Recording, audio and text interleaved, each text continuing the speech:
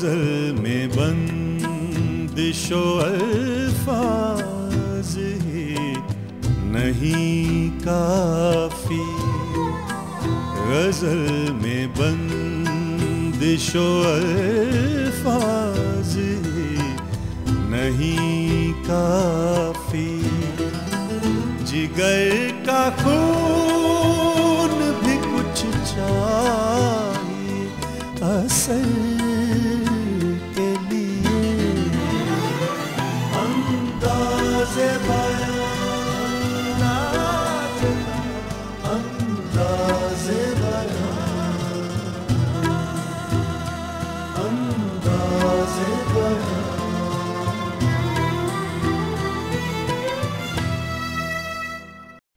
मेरे पास होते हो गोया, जब कोई दूसरा नहीं होता।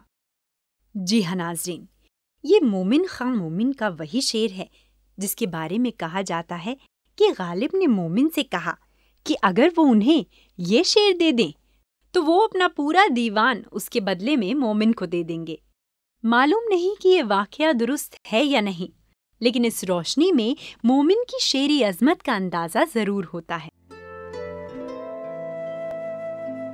मोमिन का नाम मोमिन खां था और आबाई पेशा तबाबत था। वो दिल्ली के एक आला खानदान में सन 1800 में पैदा हुए और अच्छी तालीम पाई। तिब तो उनका पेशा था ही रियाजी, नजूम, मौसीकी और शतरंज में भी अच्छी दस्तगाह रखते थे।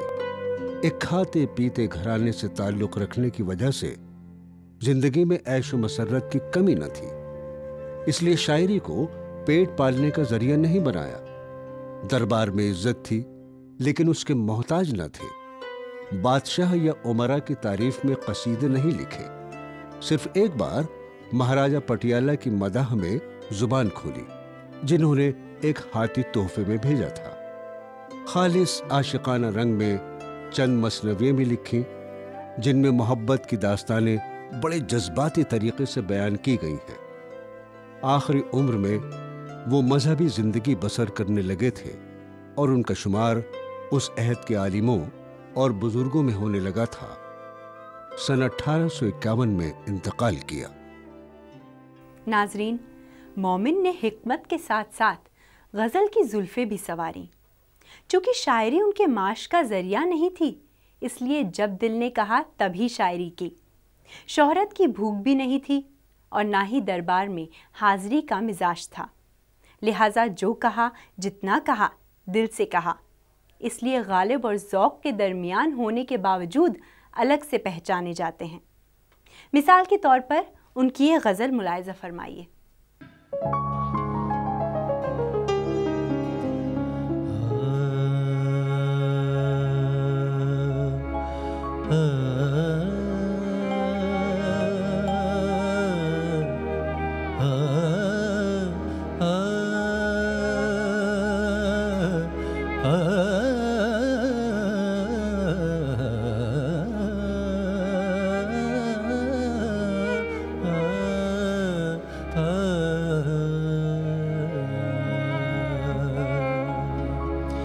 रोया करेंगे आप भी। पहरों इसी तरह रोया करेंगे आप भी।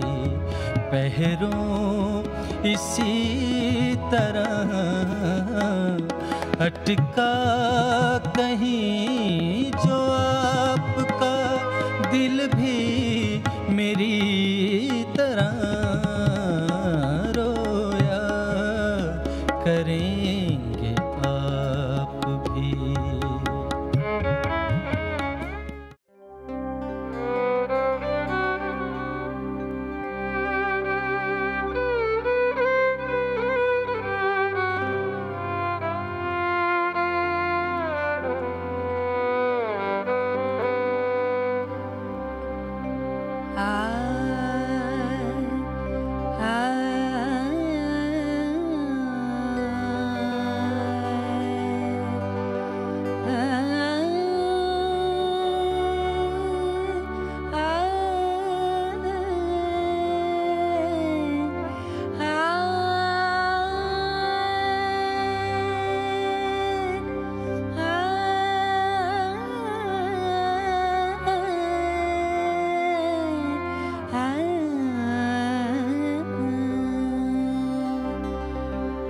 जो हम तुम में करार था तुम्हें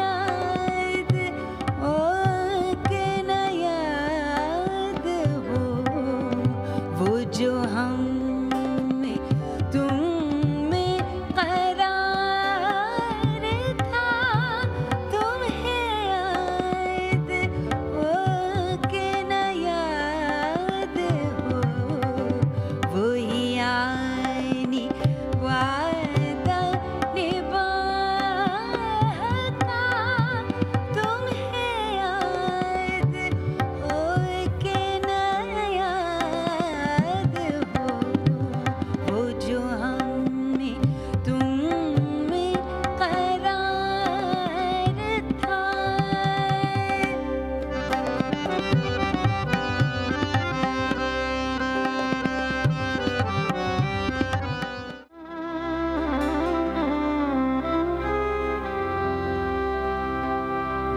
पे तूफ़ान उठाए लोगों ने।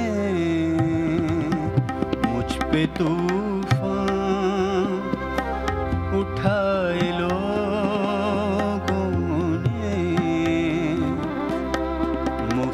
बैठे बिठाए लोगों ने। मुझ पे तूफ़ान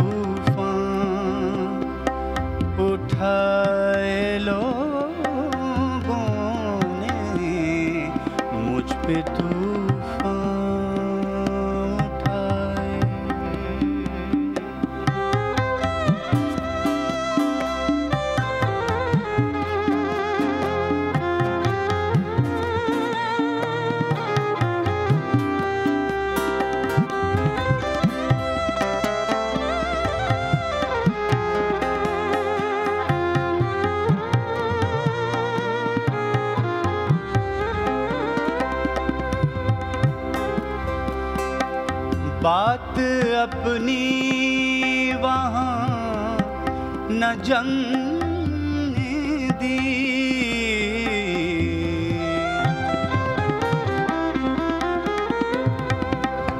बात अपनी वहाँ न जमने दे। अपने नक्शे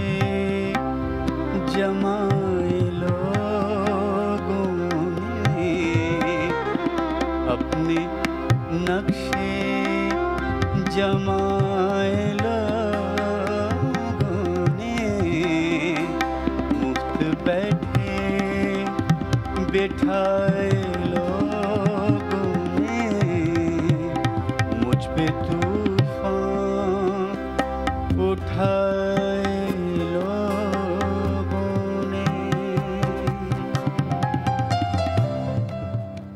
जाने दे चारागर शबे हिजरा में मत बुला। वो क्यों शरीक हों मेरे हाले तबाह में? मोमिन की ज़बान किसी कदर फ़ारसी आमेज़ है। इसके बावजूद उनका उसलूब इसी तर्ज के दूसरे शायरों से मुख्तलफ है।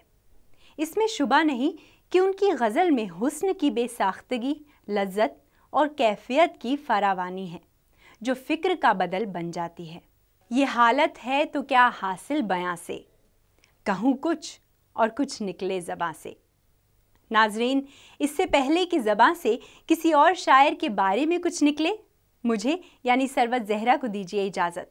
अगले हफ़्ते एक और शायर और उनके कलाम के साथ फिर होगी मुलाकात। तब तक के लिए खुदा हाफिज़।